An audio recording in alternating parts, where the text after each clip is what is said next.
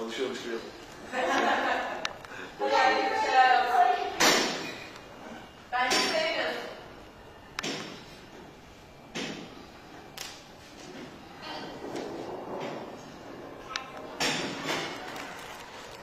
Kadınlar Basketbol 1.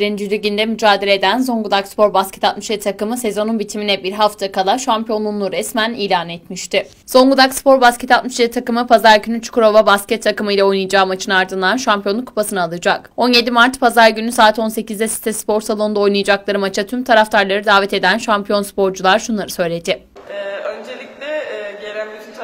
Taraftarlarımıza bu zamana kadar bizi destekleyen teşekkür ediyoruz. Pazar günü çok e, gerçekten farklı bir atmosfer olacak. Herkesi kırmızı giyip saat 6'da salona bekliyoruz. Öncelikle herkese çok teşekkür ederiz bize bu kadar güzel destek verdikleri için. Herkesi pazar günü maçımıza bekliyoruz. Kupayı hep beraber kaldıralım. Ee, evet, çok iyi çalıştık öncelikle. Herkes maça bekliyoruz. Evet son maçımız evimizde hiç kaybetmedik. Bu maçı da kaybetmek istemiyoruz ve kupayı hep birlikte e, taraftarımızla, bizi hiç yalnız bırakmayan taraftarımızla kaldırmak istiyoruz.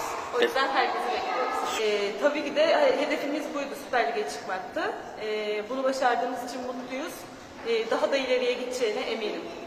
Pazar günü şampiyonluk maçımıza tüm Zonguldak halkını bekliyoruz. Kupayı hep beraber kaldırmak istiyoruz. Bütün sene yanımızda oldular. Hepsine buradan teşekkür ediyorum.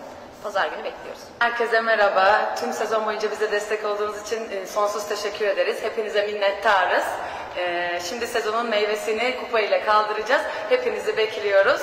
Site Spor Salonu'nda buluşalım. Teşekkürler.